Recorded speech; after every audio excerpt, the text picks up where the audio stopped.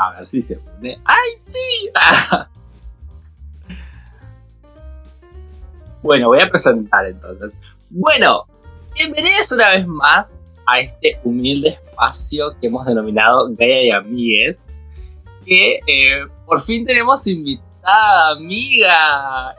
Buenos días, buenas tardes, mi querida amiga, la tía Ru Paula. Buenos días, Argentina. ¿Cómo le está pasando hoy? Como si fuera que me están viendo, pero yo lo solo doy. Pero eso la Yo igual le pongo ganas. Claro. Amiga, hoy sacamos la alfombra roja. Tenemos manteles largos. Sí. En, una- en un episodio muy especial tenemos a una invitada que eh, viene del otro lado del charco. Viene del otro Ah. lado del charco Claro. viene de viene de el viene de España así que decidió conectarse con nosotros que somos de el virreinato rebelde el virreinato rebelde. Una persona muy conocida en, eh, en YouTube en el, en el ambiente drag. Así que eh, dale la bienvenida a nuestra invitada. Le damos una bienvenida muy cálida, muy argentina, como de costumbre, a la querida Parody Paradise. eh, Parodi un gusto Igualmente, Escucharte. qué ilusión. Que, bueno, qué ilusión me hace escucharos a las dos. Aunque bueno, por lo menos a Gaia ya la había escuchado alguna vez en sus vídeos. Y qué ilusión poder escucharte tú también, por fin. Aunque bueno, en alguna especie creo que te escuchaba antes. Bueno, tenemos como. Yo la verdad que no lo creo, porque yo la primera vez que vi un video de Parody fue el de consejos para usar Grindr, que me saltó así como en una recomendación de YouTube, y de ahí no pude parar. Ese vídeo que además fue de los primeros que subí. Pero de los primeros creo que fue igual el quinto o el sexto vídeo que había subido en toda, en toda mi vida en, en YouTube. Y el resto es historia. Claro, yo recuerdo también haber visto ese video y creo que eh, fue ese video y estaba comenzando a resumir, o a, no, no sería resúmenes, sino empezando sus revisiones. No recuerdo si era la temporada 10. All O alguna 3 alfa. empecé. Con All Claro. Stars 3 empecé, sí. Pero es que además recuerdo que el vídeo de Gainer lo subí un poco porque era una cosa que me apetecía subir de jiji jaja. De repente se viralizó un montón. Yo ni siquiera me di cuenta de que se había viralizado. O sea, me di cuenta como dos o tres meses después y dije, ay, mira, ¿cuántas, cuántas visitas tiene esto? Y ya lo, lo demás, pues hasta hoy. Es que es un video que es muy acertado. O sea, acá es tal cual. Es tal cual. O sea, Sí, Grindr es igual en todas partes del mundo. Sí, y envejeció bien el video, porque no fue como que cambiaron las cosas.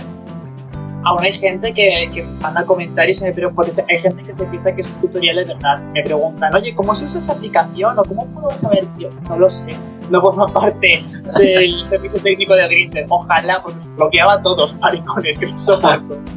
Bueno, hay, como tantas cosas que hablar, tantas cosas que preguntar que no sé por dónde empezar. Pero acá mi amiga, la tía Ruth Paula, hizo como un pequeño guion, porque ella me organiza la vida, porque yo no doy abasto con la mía. Yo sí la tarea.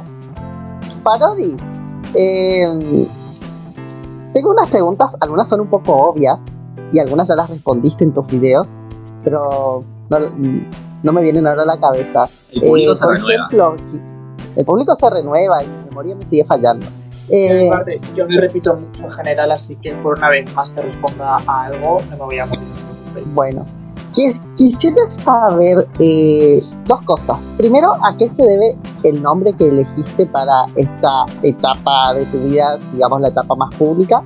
Y eh, ¿por qué decidiste elegir el tema de eh, los moños como el símbolo de tu personaje? Pues es que realmente eh, ninguna de las dos las elegí para YouTube, ya venían un poco conmigo. Los lacitos en el cuello los empecé a usar como con 16 años, ahora tengo 31, o sea que llevo literalmente la mitad de mi vida usando lacitos en el cuello, porque se la vi una vez a, a un amigo mío y dije que, que día más guay. Y cuando empecé a estudiar moda, me enamoré de la moda de hombre del siglo XIX, de todo el de lo que es el landismo, Oscar Wilde, eh, Montesquieu, eh, Tocqueville, toda esta gente, todos estos hombres que hacían de la estética pues, una filosofía de vida y llevar estos lacitos me hacía un poco yo me sentía un poco más vinculado a este mundo del siglo XIX, también me recordaba un poco el tema de usar tantos colores, a la estética del siglo XVIII, que me gustaba mucho, me colocó. Y el nombre eh, también lo empecé a usar como con 18 años, creo que fue, o con 17. Fue un nombre que yo usaba ya en Facebook, allá en aquella época que Facebook estaba de moda antes de que pasase a ser el geriátrico de las redes sociales.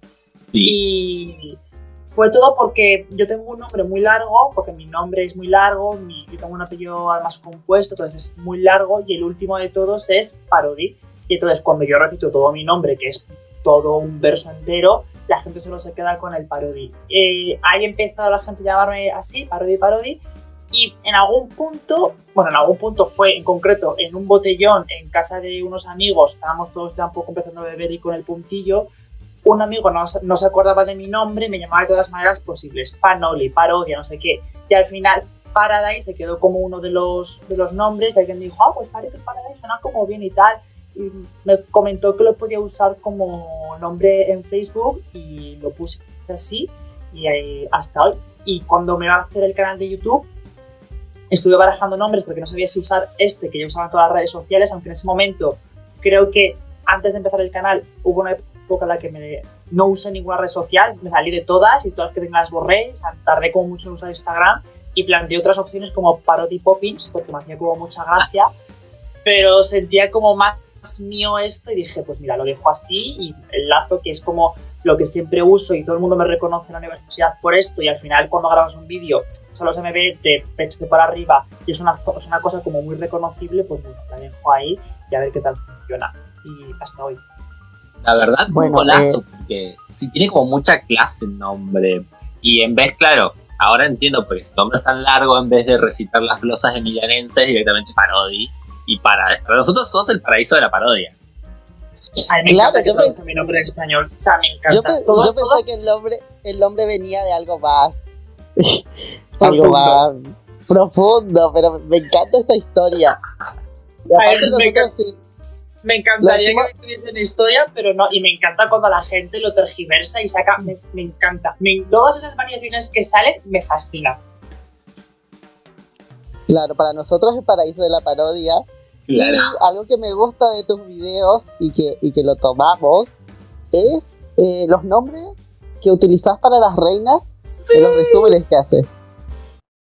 Por ejemplo, el de Yuyubi, que es Yuyabeca, después Ariel, se llama Ariel. Claro, pero nosotros le cambiamos igualmente. Porque Jujubi a partir de Drag Race versus, perdón, UK versus The World es a su FIFO. Porque nosotros miramos a no sé qué es a su FIFO. Sí, los subtítulos que lo ponía así, ¿verdad? Por eso también es un poco a consecuencia de. A ver, yo cuando empecé a subir las reviews, no, el formato no era tan popular y costaba mucho encontrarlo en internet. Y había un canal que lo subía a YouTube bajo el nombre de La carrera drag de Rupaula, tal cual lo que es el título traducido. Y yo lo veía así.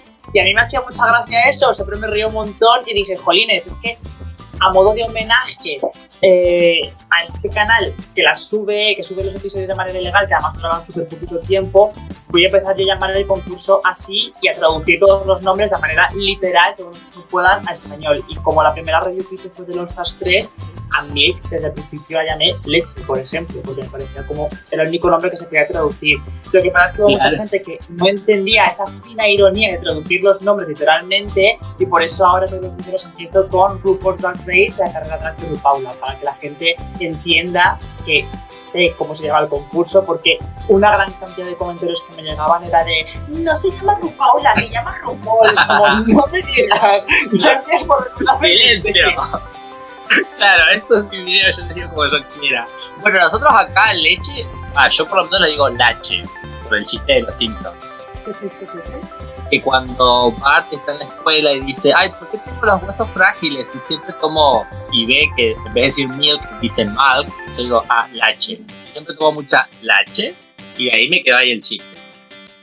Bueno, una referencia que yo no había que yo no había entendido cuando estaba resumiendo una de las temporadas eh, era a la creo que la la verdad no recuerdo en qué temporada porque como que la temporada 12, 13 y 14 eh, me daban igual cuando, traducía, cuando traducías eh, el nombre y Angelia le empezaste a llamar la roba alba. Yo no entendía, ¿pero por qué la roba alba? ¿Pero por qué la roba alba? Tuve que volver a ver el resumen del primer episodio para entender que era porque eh, su maquillaje te generaba eso.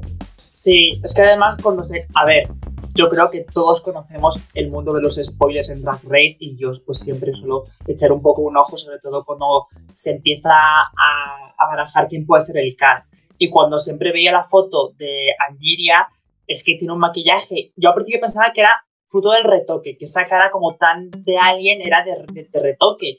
Y me daba la sensación de que en cualquier momento te iba como a absorber el alma. Y entonces empecé a llamarla pues la roba almas para mí en mi interior y al final lo interioricé tanto que terminé llamándola así, pues la review. Bueno, a mí me pasa con la foto de promoción de Angeria, que pareciera como que está retocada de tal manera que pareciera que le pusieron como la cabeza con Photoshop arriba del cuerpo. Tiene como una hay algo raro ahí con la cabeza en relación al cuerpo. No sé si les parece lo mismo. Soy solamente yo. Pues a mí particularmente en la foto de promo, o sea, a ver, en general es que esa promo no me hace mucha gracia, es un poco rara. Pero sí es cierto que la pose que tiene, que estoy viendo aquí la foto, es un poco artificial y entre eso, el collar que lleva, parece que sí que da un poco la sensación de que tiene como la cabeza cortada y se la han puesto aparte. Sí, ¿no? Ah. Pero bueno, en fin, hay, hay tantas cosas que preguntar, tantas cosas que hablar.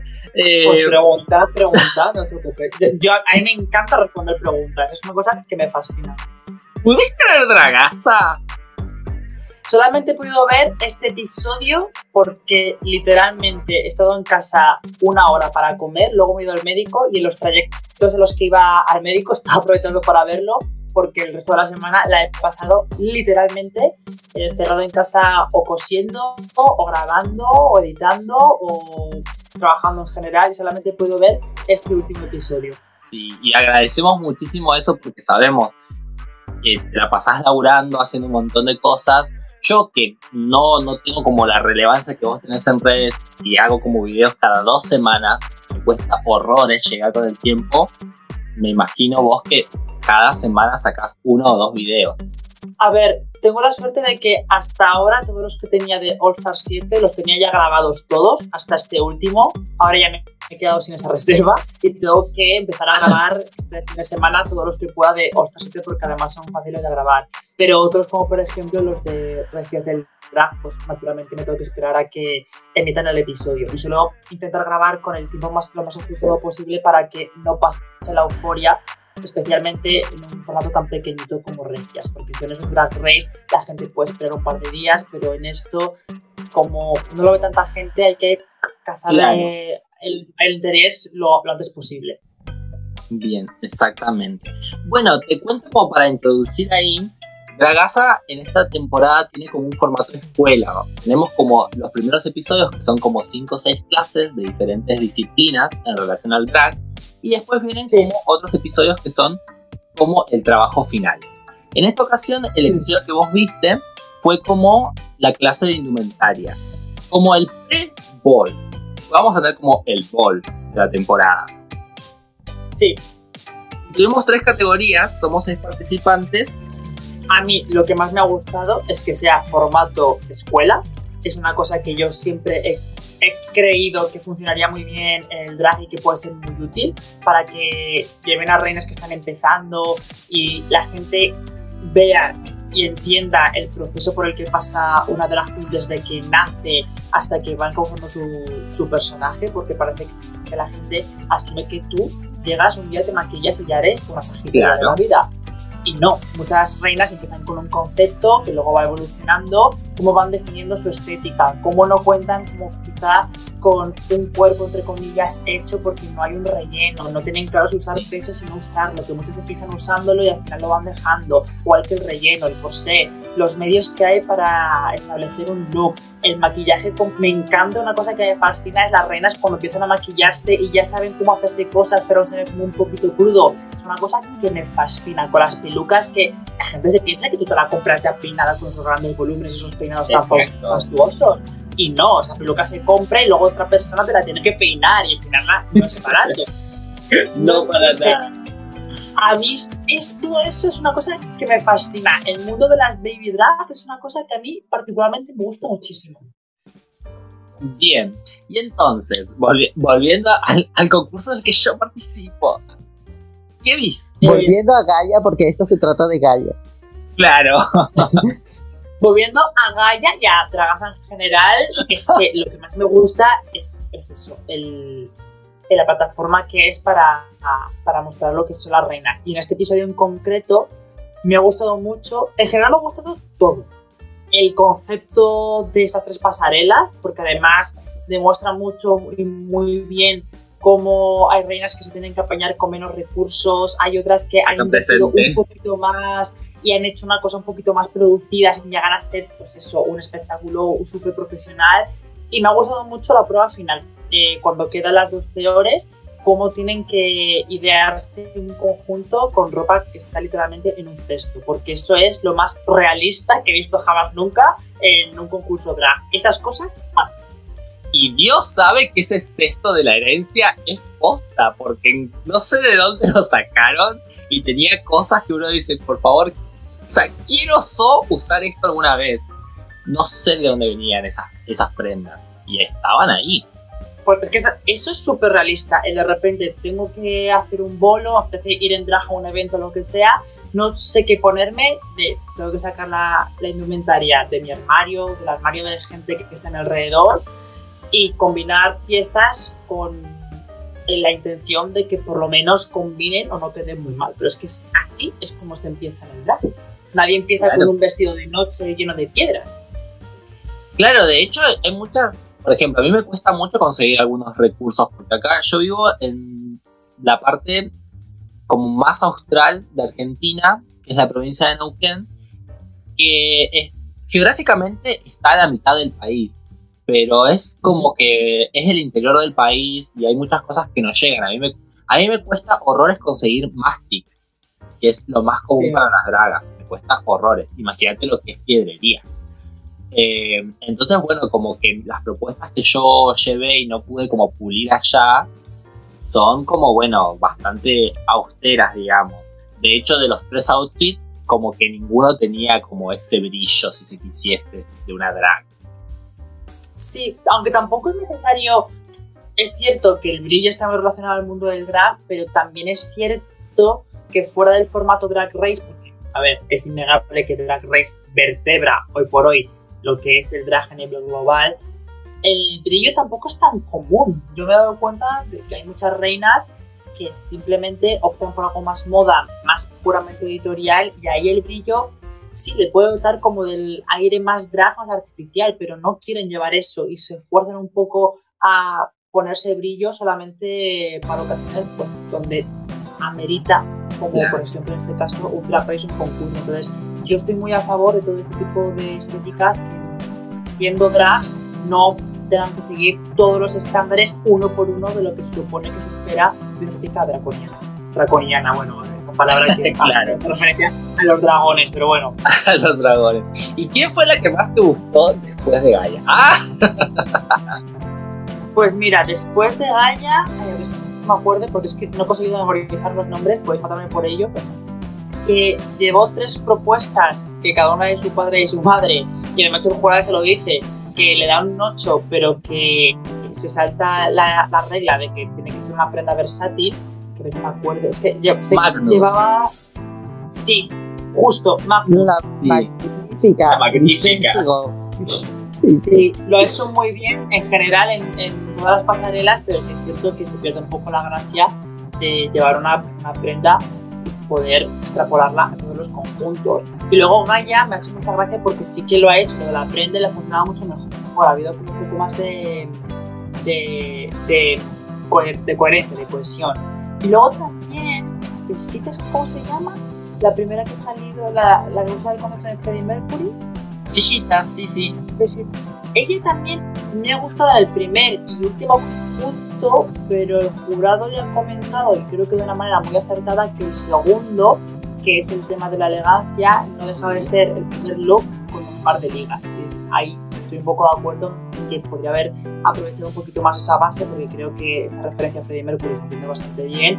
Para el conjunto de ama de casa creo que es un 10, una referencia muy inteligente, muy bien usada, pero para lo de elegante podría haber usado el mismo conjunto con una peluca un poco más peinada, con algún tipo de tocado, o incluso haberle dado el punto cómico y haber salido con, a ver, estoy es un poco tirando de presupuesto, pero con una aspiradora de estos de manos cubierta entera de, de, de, purpurina, sí, que puedes hacértela en cartón, por ejemplo, que entiendo que también es un trabajo enorme, o una escoba llena de brillos, no sé, algo así, para decir, sigo siendo el mismo concepto, pero llevado al mundo de la elegancia que no hace falta entender siempre este concepto como de la manera más pura y más sofisticada, elegante, tiene que estar bien vestida, un estilo clásico. No, hay muchas maneras de entender esto y es la gracia de estos concursos, que tenéis como libertad para darle la vuelta y retorcer el concepto que os ofrecen para interpretarlo como queráis.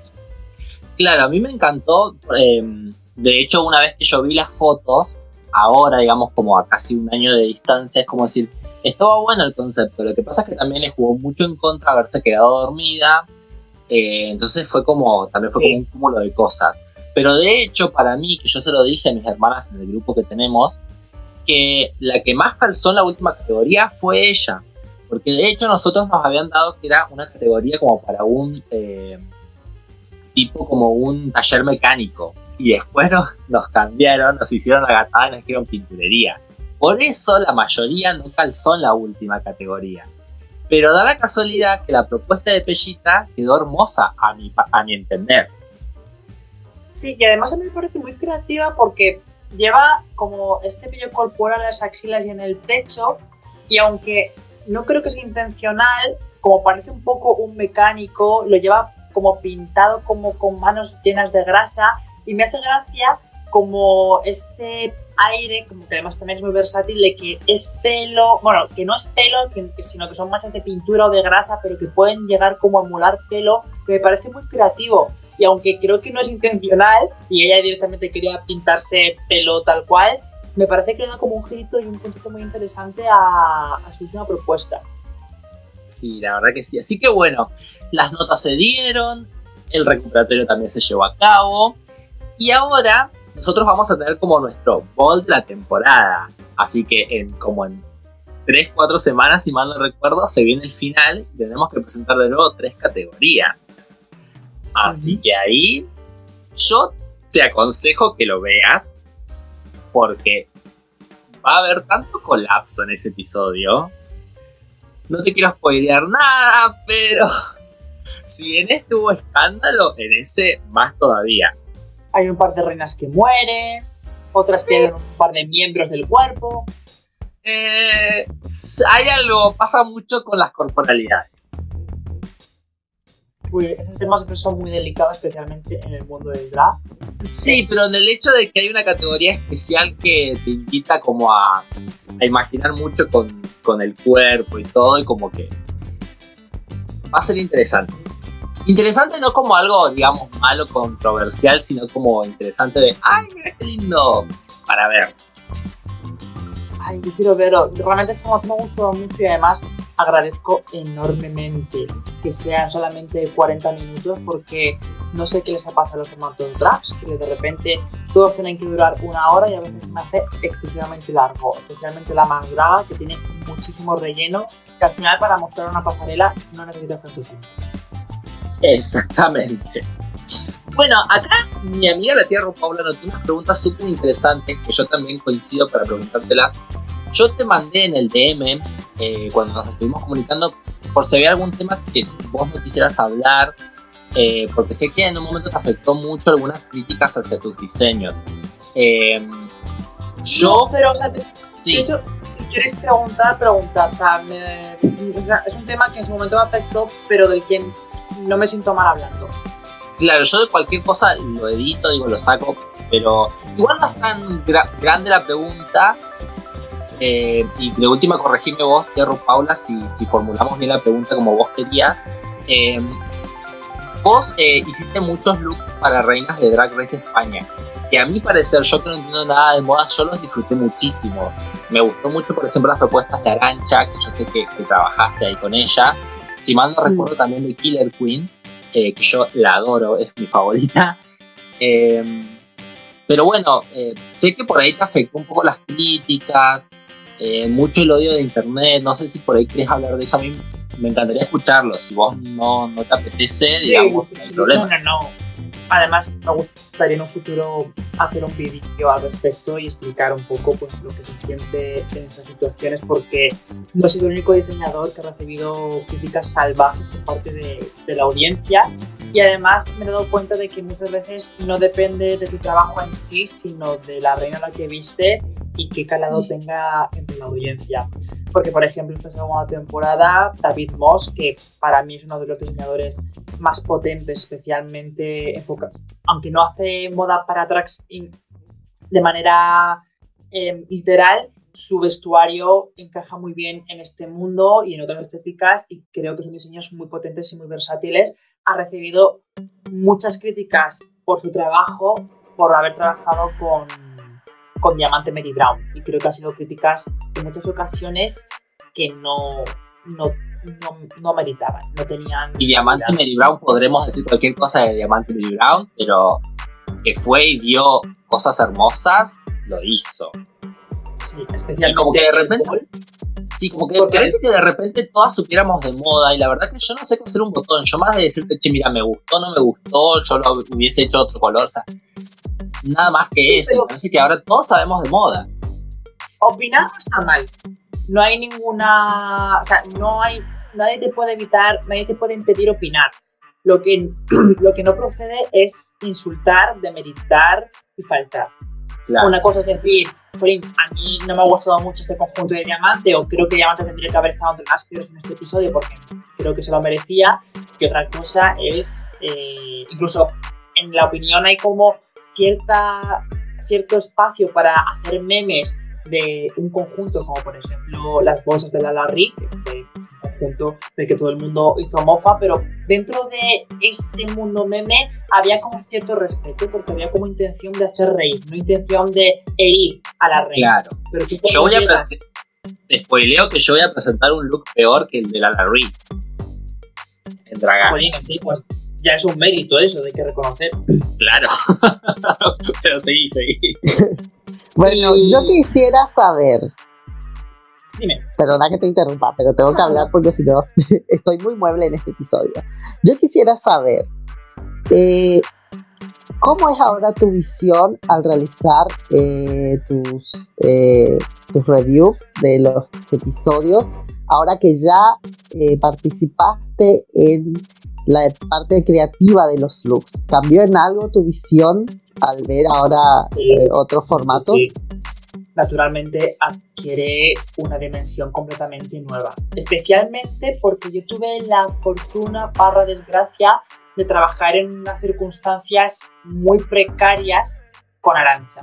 Arancha tenía un problema de presupuesto muy grave y a mí que la gente critique el traje de Arancha no me parece o sea, no, no, es que me duela porque lo entiendo y de hecho durante mucho tiempo antes de la emisión del concurso yo lo hablaba con gente cercana que sabía que esto iba a ocurrir porque el trabajo que hicimos no era bueno, pero yo aprendí mucho y también hay que hay una cosa que la gente no entiende y tampoco tienen por qué saberlo al final y es que cuando tienes un límite tan grande de presupuesto lo puedes suplir si tienes tiempo, pero en este caso teníamos un límite de presupuesto y de tiempo. Entonces, nuestro objetivo muchas veces no era ni siquiera hacer un buen look, era hacer el look a secas. Era que Arancha por lo menos tuviese algo, aunque fuese malísimo o que fuese horroroso, para sacar a la pasarela. Que no llegase el punto en el que Arancha literalmente no tuviese nada con lo que salir y tuviese o que improvisar algo en el momento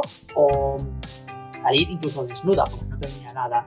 Ahora es cierto que también en ese momento no sabíamos cómo van a estar las reinas allí, si van a tener algún momento para cocer, para prepararse algo. En el caso de España las reinas están todas juntas en, en una casa rural, mientras se graba el concurso, no es como en Estados Unidos, que cada una está en una habitación y quizá en ese momento podríamos haber pensado, de haber sabido eso, oye, pues si no si puedes llevar algo, pides ayuda a una de tus compañeras o que te preste algo, o que te ayude a montar algo, pero en ese momento, como no sabíamos nada, no sabíamos si el formato iba a funcionar, no sabíamos cómo iba a ser, no sabíamos si iba a haber algún giro que no hubiese habido en otra franquicia, nuestro objetivo era completar todas las pasarelas. Y si nos daba tiempo, mejorar aquellas que pudiésemos con los medios que tuviésemos. Lo que pasa es que no hubo Entonces, naturalmente, todo ese trabajo te abre una perspectiva nueva de cara a hacer reviews porque ahora sí que sabes el trabajo que hay detrás. Y aún así, tampoco es lo mismo porque en Estados Unidos hay otra industria en torno al drag, hay Drag Race lleva ya 14 años, 15 con este,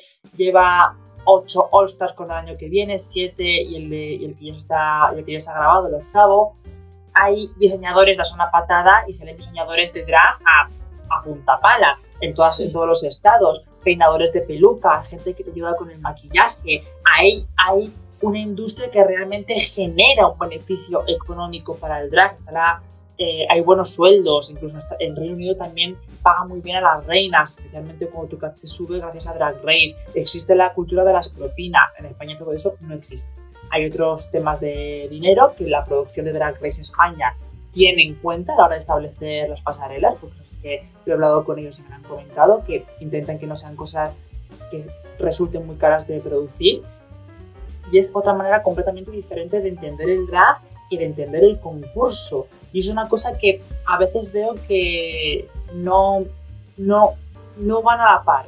Veo en Estados Unidos y en España en concreto que la sociedad del drag va mucho más adelantado que el formato en sí y también veo que hay gente, que la gente que está ahí dentro del formato no es consciente de esto o es consciente y lo estoy hablando o simplemente no saben cómo equilibrar esta disidencia de, entre el drag, lo que es el mundo drag real y lo que es drag race. Pero sí, evidentemente, ya para acotar, eh, haber trabajado para varias reinas en diferentes grados eh, ha abierto mucho mi mente y mi forma de entender el concurso de cara a grabar reviews, evidentemente.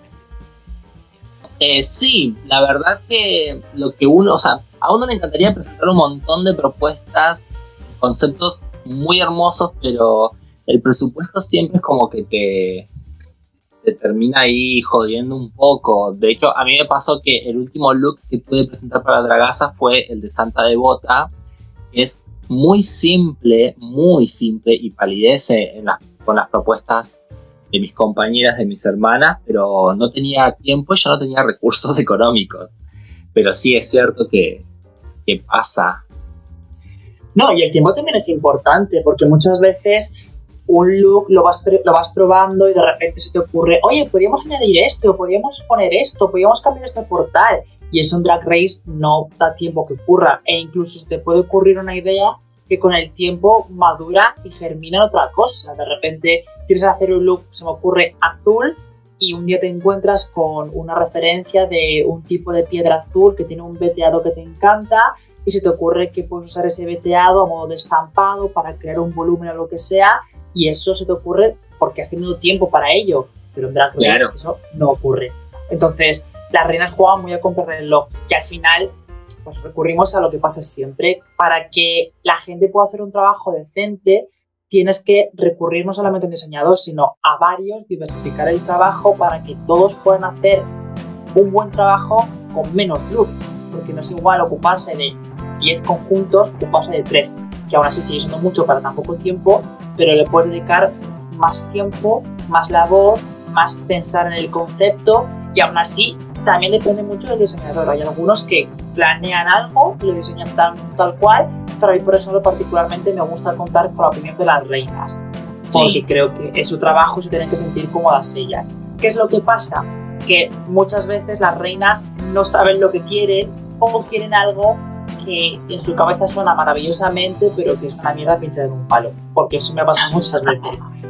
Que quieren algo que para ella suena espectacular y eso que a veces funciona, a pesar de que suena muy descabellado, pero muchas veces es como me estás pidiendo algo que simplemente es feo, que ni siquiera pega contigo, y cuando te lo veas igual te gusta en el momento, pero dentro de un par de semanas cuando lo vas a ver vas a pensar qué cojones he llevado.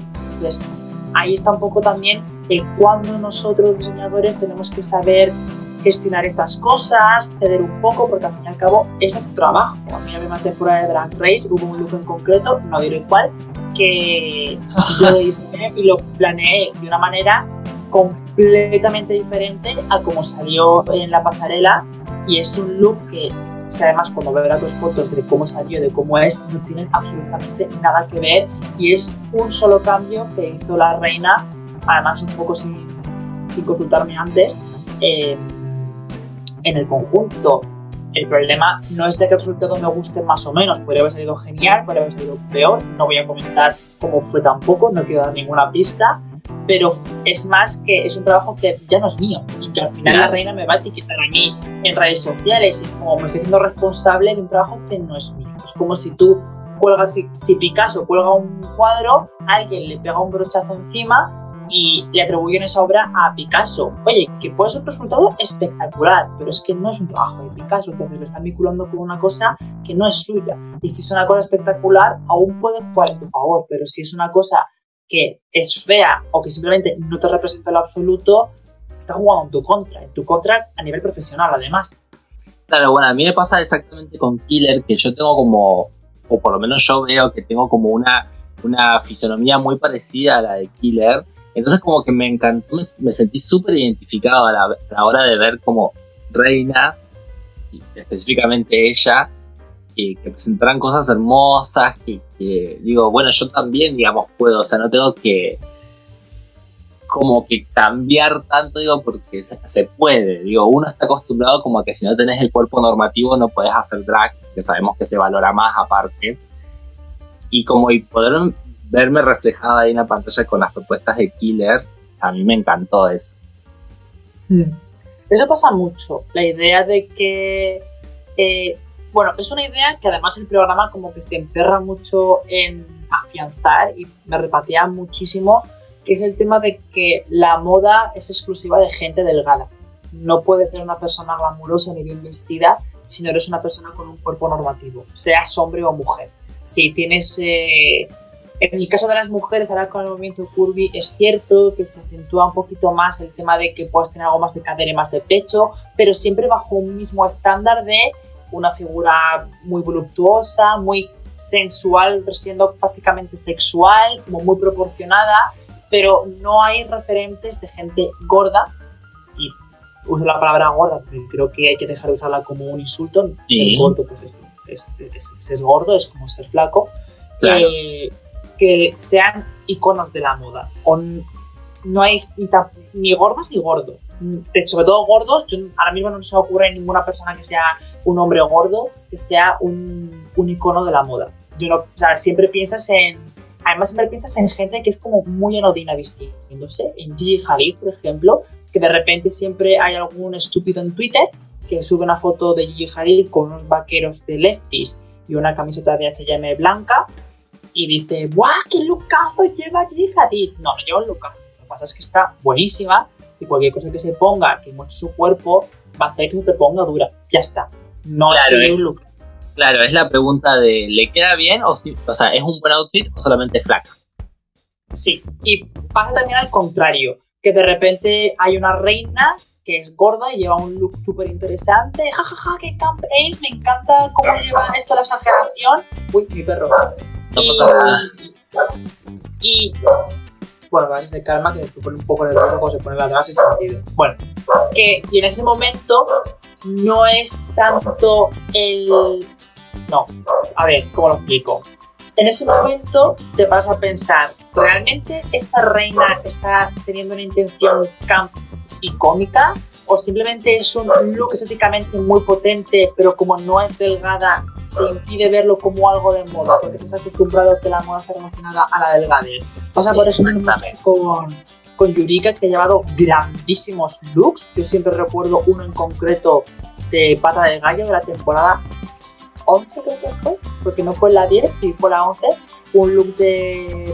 No, a la 10, perdón. No, la, eh, tuve la 9 y a la 10. La temporada 10, un look de, de Pata de Gallo que fue espectacular y seguramente si eso lo hubiese llevado una Violet Chachki, una Miss Fame, una Plastic Tiara, la gente le hubiese hecho la ola y hubiese dicho que era un look espectacular, pero ha pasado bastante desapercibido. Exactamente. La tierra Paula, ¿tenés alguna otra pregunta para, para sumar a la mesa redonda? Bueno, a mí me interesaría saber acerca de todo ese periodo que eh, tuviste como esa rivalidad con los fanáticos del drag en las redes. Que fueron, eh, por lo que yo recuerdo, fueron dos grandes momentos diferentes, pero que eh, por lo visto te afectaron mucho. Uno fue cuando eh, empezaste a hacer tus revisiones de la más draga y que por un malentendido acerca de un tweet en el que saliste a defender a Johnny Carmona sin conocer todo el contexto, te empezó a llegar un odio que se pasó un poco de la raya, que ya, que ya llegó a unos límites eh, muy exagerados. Quiero puntualizar porque en el caso de Johnny Carmona fue culpa mía, porque yo sí que conocía un poco el contexto, pero eh, a ver cómo esto, porque tampoco lo quiero excusar de ninguna manera, pero lo que yo había aprendido al respecto de esa situación en concreto estaba mal. O sea, la lección que yo tenía aprendida por mi experiencia y por cómo había tratado ese tema con gente que me había propuesto algo parecido, estaba mal. Quiero decir, lo voy a, voy a hablar del tema aquí sin miedo, es una cosa que no me gusta comentar mucho, sobre todo por respeto a Johnny, pero bueno, la cosa fue que Johnny Carmona eh, pues saltó una polémica de las tantas que ha tenido eh, la más draga y alguien sacó el fragmento de un vídeo donde está hablando con otra persona sobre algunos fetiches y él comenta que tiene como fetiche el tocar a alguien cuando está dormido. Y llega a, llega a decir él que incluso con, no, su, la persona que está con él, ni siquiera es Johnny, llega a decir que si la persona está como un poco embriagada y tal, como que le da más morbo. Yo en ese momento, claro, es que ahora lo pienso y es, es grave también para mí, pero yo nunca he estado en esa situación, bueno, a mí sinceramente es algo que no me da morbo yo cuando me emborracho es para pasármelo bien. Y lo último en lo que pienso es en, el, en hombres en general, pero sí es cierto que yo había recibido varias propuestas o varias intenciones de gente que me había dicho, me, me apetece esto, a mí me pone esto, el tocar a alguien cuando está dormido, ¿a ti te importaría que yo lo hiciese y tal, no sé qué? Y claro, como yo tampoco soy una persona especialmente sexual ni dentro de este circuito de, del sexo, me lo tomo con mucha calma y, demás, y solo cuando me suelen decir esas cosas, no solo hacer, como nunca suelo tener sexo, pues dije, pues no sé, supongo que si yo digo que sí a ti te gusta y estoy dormido, pues tampoco lo, lo, lo, veo grave. Entonces, un poco asumí que había como cierto consenso. ¿Qué es lo que pasa? Que la gente me dijo, es que si una persona está dormida, no hay, no hay consenso al final. Porque tú puedes haber dicho, sí, sí, tú tocame cuando estés dormido, pero es que resulta que puede ser que ese día hayas dormido mal o lo que sea y estés ahí como en duerme vela, te esté tocando y no te está haciendo ninguna gracia. Entonces, yo defendía a Johnny un poco por la experiencia que yo había tenido, la que asumía que se podía tener un, un, control de la situación cuando realmente no, no hay un control de la situación cuando tú estás dormido de eh, eh, tal busqué un poco información al respecto y ahí vi como un poco artículos así como con diferentes opiniones, gente que estaba como a favor, gente que lo consideraba abuso sexual y yo particularmente pues dije, mira, no me meto más en este tema, eh, he acabado, mejor, ya está, se acabó. Reconozco mi error, pido las disculpas que creo que toca, toca pedir porque no, ni tenía que haber metido en el tema ni tenía que haber investigado más, pero claro, la información que yo había recibido de manera involuntaria, pues, pues por mi experiencia con, con, gente, es que sí que se puede llevar a un consenso, porque a mí me lo habían ofrecido y yo dije, bueno, supongo que si yo accedo, hay, hay este consenso y la gente, pues ahí apostilló que realmente no. Cuando estás dormido, pues, pues no, no, hay un, no hay un consenso. Y esto estalló. Se, al parecer la gente sacó capturas de, de, esto y hay gente malintencionada. Por un lado entiendo que si yo digo eso y hay gente que se, hay, hay gente que se decepcione porque estoy haciendo algo mal y que entiendo que al final no todo el mundo tiene por qué saber que yo me puedo equivocar, ni todo el mundo tiene que saber mi experiencia ni por qué pienso una cosa, que muchas veces es pues porque te lo han enseñado mal o lo que sea. Entonces entiendo que hubiese gente así, pero la cosa escaló y hubo gente que, que amenazó con temas graves, incluso eh, bueno, desde cancelarme, que es un poco pues, a todo el mundo, hasta llegar a decirme que iban a llamar a mi trabajo porque en aquel momento yo trabajaba además en, para otra persona, iban a llegar a mi trabajo y que le iban a comentar todo de cara a, a que me en el trabajo y tal. Y eso me pareció una cosa muy grave, me sentí muy violentado y fue como, es que ahora mismo no me siento seguro porque una cosa es exponerse y otra cosa es exponerse al punto de que la gente esté amenazándome con eso y además pregonando que yo apoyo la cultura de la violación cuando nada más lejos de la realidad. Simplemente yo estaba equivocado, no sabía que estaba equivocado porque en mi percepción de las cosas pues había sido, eh, había, había entendido que, se, que podía acontecer este tipo de sucesos bajo mutuo acuerdo y no fue hasta que alguien me explicó, no, esto no es así, que yo dije, ah, pues mira, pues también tiene razón. Pero fue un poco eso, que lo quiero, lo quiero aclarar porque aunque no, me, no es el tema del que más me gusta hablar, más que nada por respeto a Johnny, creo que eh, para pedir disculpas sobre una cosa y para demostrar que has aprendido, pues hay que mencionar también de dónde procede el problema. Claro, exactamente. Igual, a mí me parece como que es muy delicado todo el tema esto de, de la cancelación, de, sacar de contexto algunas cosas. Eh, porque en definitiva, digamos, cuando tenemos que tomar acciones concretas no se toman. Se toma como, como un, un espectáculo del hecho. Eh, a mí me pasa, qué sé yo, a mí, yo se lo digo siempre a la tía Paula, el Yuri más no se vuelve, digo, de... como de... Hay un montón de cosas que, que son súper reprochables y que cuando se tienen que explicar, se explican mal. Porque, por ejemplo, yo te entiendo que 14 reinas estén obligadas en medio de una filmación a gritar Yuri la más. Porque en el vaivén de todo el trajín de la grabación y de la presión y qué sé yo, que, es indudable, eh, lo digas, digamos. O sea, porque bueno, te, llegó el momento. Pero después, como no decir de verdad, che, mira, me pasó esto, o sea, eh, tuvimos que hacerlo, no nos dimos cuenta. No, pero terminan dando argumentos que nada que ver. Sí. A ver, es que todos, todos cometemos errores y todos decimos comentarios que o se pueden leer mal, incluso eh, sobre todo en Twitter, tweets que, eh, que redactas y te ha quedado redactado de una manera un poco rara y se pueden malinterpretar o que quiere decir una cosa. O incluso, como me pasó a mí, que tú piensas que una cosa está bien porque has asumido que está bien por, por, tu situación particular, hasta que alguien te dice, oye, no, es que esto no está bien por esto, por esto y por esto. La primera reacción que vamos a tener todos casi siempre es defendernos. Y eso creo que a todos nos pasa. Cuando, sobre todo cuando es una acusación, una cosa tan grave, tu primera reacción siempre es saltar la defensiva. Y eso a veces empeora y enfanga aún más las cosas. Yo procedí a borrar los tweets y tal, pero tampoco me pareció correcto dejarlo ahí y, y pedí pedir las disculpas eh, correspondientes. Pero también es cierto que a veces juzgamos muy severamente a gente que comete un error o que tiene una opinión equivocada o incluso una opinión que es inaceptable o que parece que interpretamos que ha dicho una cosa que es inaceptable cuando tiene un recorrido que demuestra todo lo contrario. También creo que yo soy muy de la opinión de que el perdón es una cosa que se pide porque alguien te lo tiene que dar. Entonces, a ver, hay circunstancias en las que si tú, por ejemplo, has tenido un comportamiento racista en el pasado, te tiene que perdonar la, parte afectada, la gente racializada.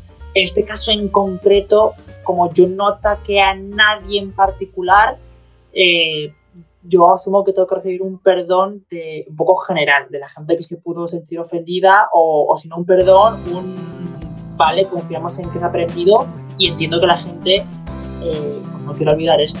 Pero no sé, creo que es un tema muy delicado eh, y tampoco creo que sea una cosa que haya que, pues, como que sacar a la luz cada X tiempo y tal, porque tampoco es América que se haga siempre ahí, mantenerlo ahí, pero no suelo hablar mucho de ello porque tampoco creo que haya que remover la mierda, pero si me preguntan, creo que es el momento de empezar a atajar el tema directamente y decir, mira, pasó esto, por esto, por esto, me equivoqué en esto, lo hice mal, eh, la razón es porque yo pensaba eso en ese momento y bueno, pues a partir de ese momento, a partir de ese acto en concreto, o gracias a ese acto en concreto, yo aprendí que estas cosas no se pueden hacer bajo ninguna circunstancia que esto está mal por esto, por esto y por esto. O sea, que yo no sabía porque mi experiencia lamentablemente me había llevado a pensar que era correcto. Bueno, sucedió todo este tema de esta cancelación que es como que se limitó también un poco a hablar de ciertos temas.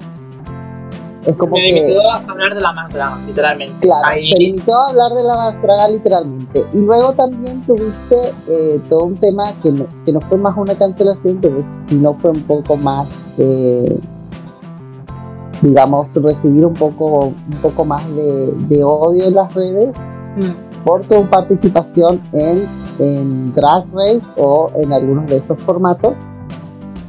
Y el tema, eh, mi pregunta sería es, eso es como que lo que aprendiste ahora es como que te sentís limitado o te, te, dio, te da cierto temor, no, no sé si temor o te da una especie de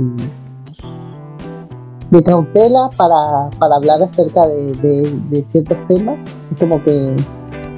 Me gustaría decirte que no, pero inconscientemente sí. Pero no solamente es todo esto que ha ocurrido, es básicamente un poco una mezcla de todo. Limita mucho el hecho de hablar el mismo idioma que las personas a las que estás eh, criticando. Eso es un limitante que desde el minuto uno con La Más Draga, que fue el primer formato en el que yo reseñé o hablé de reinas que hablaban mi, mismo idioma, sentí que era un limitante, porque cuando hablas de los Estados Unidos, pues prácticamente ninguna habla español y sinceramente con la cantidad de gente que habla del formato en Estados Unidos, raramente van a ir a parar al de la petarda irrelevante de España que de repente le ha dado por hablar de tu conjunto. Pero con la más draga, de hecho, eh, con todo ese tema de Drag Race ocurrió que se juntaron como dos frentes. Es la gente eh, que de alguna manera se sentía decepcionada porque esperaban un trabajo excelso por mi parte debido a mi trayectoria con las reviews y se encontraron pues con la cruda realidad, porque al final es la realidad. Y la gente que estaba muy enfadada porque pensaba que yo con Drag Race España estaba siendo mucho más benevolente que con otras eh, franquicias. Y hubo como una mezcla que todo se juntó y fue un poco complicada de, de gestionar. Respecto a lo de que yo fui un poco más o menos blandito con las de España, es posible porque no deja de ser una primera temporada, no deja de ser gente a la que yo conozco y con la que no puedo evitar tener un sesgo personal, a pesar de que lo de que lo intentas aparcar, pero por ejemplo cuando hablas de Puppy Poison y lleva un look flojo, pues igual con otra diría, este look es feo, pero con Puppy sí que podría decir, este look no es tan correcto.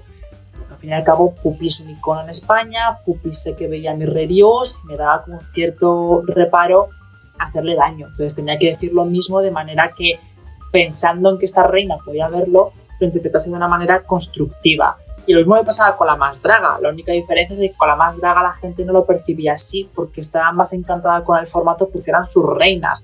En España me pasó justo lo contrario. La más draga, cuando empecé a hacer reviews, la gente de España me decía, no estás siendo como siempre, estás bajando mucho el tono. Y con España me pasó al revés. La gente de Latinoamérica me decía, no estás siendo como siempre, estás bajando mucho el tono. Las últimas reviews me sentaba y decía, no quiero grabar no quiero, o sea, es que quiero dejar el formato y quiero mandarlo toda la mierda.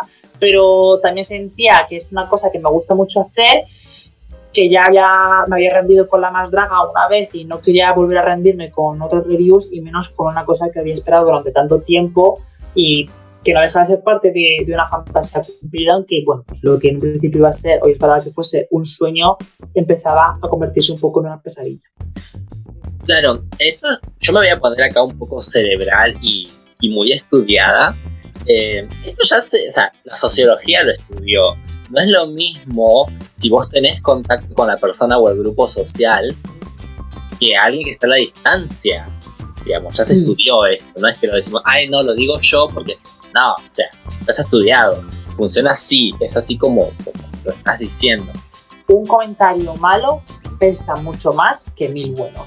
Eso yo recuerdo, Yo todos los comentarios que se me, se me han grabado fuera a fuego, que creo que son tres en total, son comentarios malos, porque fueron comentarios que atacaron cosas que a mí me dolieron. Porque al fin y al cabo, los comentarios buenos, esto es, es un poco quizá feo decirlo, todos vienen a decir lo mismo, pues que te apoyan, que les gusta tu trabajo, cosas que agradeces, evidentemente, que siempre siente bien leer. Pero los comentarios malos generalmente suelen atacar a cosas muy concretas.